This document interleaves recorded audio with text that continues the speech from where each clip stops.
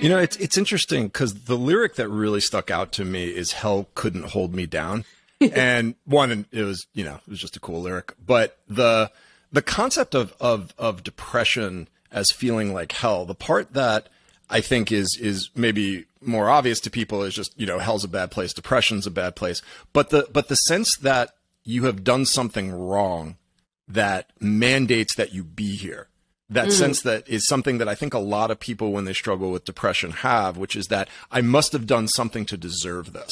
Mm-hmm. And I'm just kind of curious if, if if that lyric came from that place or if it just it was coming from a different place.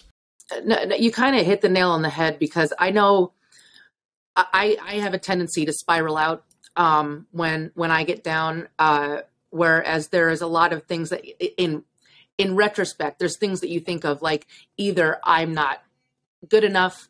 Um, I, am sorry if you can hear that.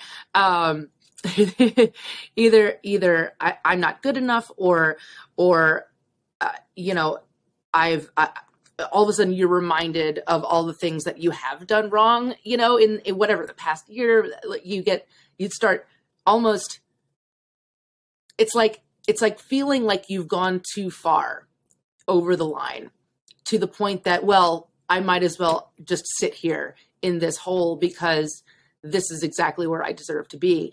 And um and really the the the hell that I'm talking about is is is the hell that I you did. I like I built that for myself.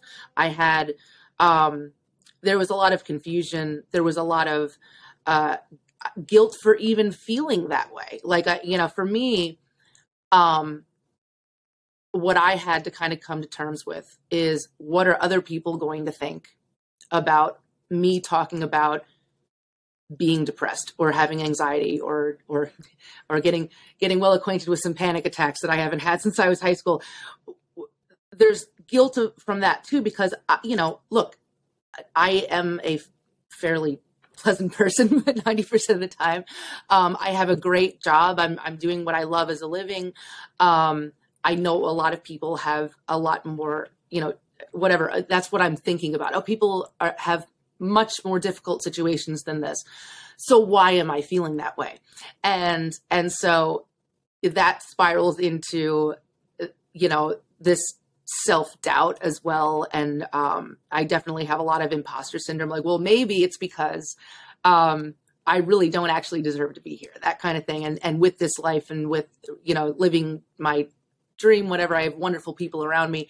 So why do I feel that way? So it kind of lobs back and forth and you build those walls kind of around yourself so that it's kind of hard to see where it's going to go, like what's on the other side. And so, yeah, with, with, with this song, I was definitely trying to, for lack of a better term, dig myself out of, of the grave I was putting myself in.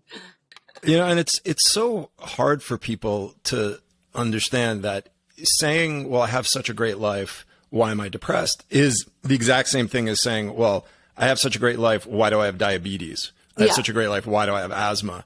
And it's it's so hard because even when you're in it and you know that this isn't necessarily a judgment in your own head on your life, you know, depression is just like or anxiety or just like any other physical health issue, for some reason we wind up saying, well, this is this is not only do we feel badly, but we condemn ourselves for mm-hmm. feeling badly. And then the thing that gets even worse is that the better that our life is, the greater the condemnation because it mm-hmm. means we are even less justified to feel this way. And it's like, oh my God, I just went from feeling depressed to feeling like three times as depressed. Exactly, exactly. And and you know, when you start to reach out, I, I've been very um, open, especially within the last couple years, uh, to uh, our fan base about it. And for the, and the majority, ninety five percent of everybody is is grateful that you know they're they're looking up to me in a certain sense, but they're grateful that I can also have those feelings. And then you have the 5% that's like, why are you complaining online? Like, yeah, I have a, the same thing. And then so like, then you see that you're like, ah, oh, is he right?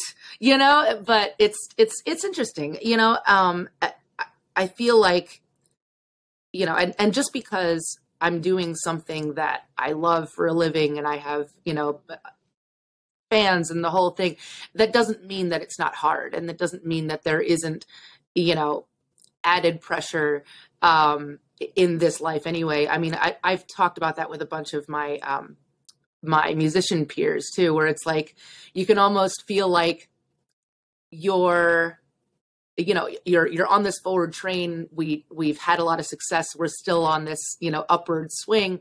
Sometimes you can feel like you're in the back seat of your life you know and it's like i am i just along for this ride? Am i actually in control of any of this? You know it's going by.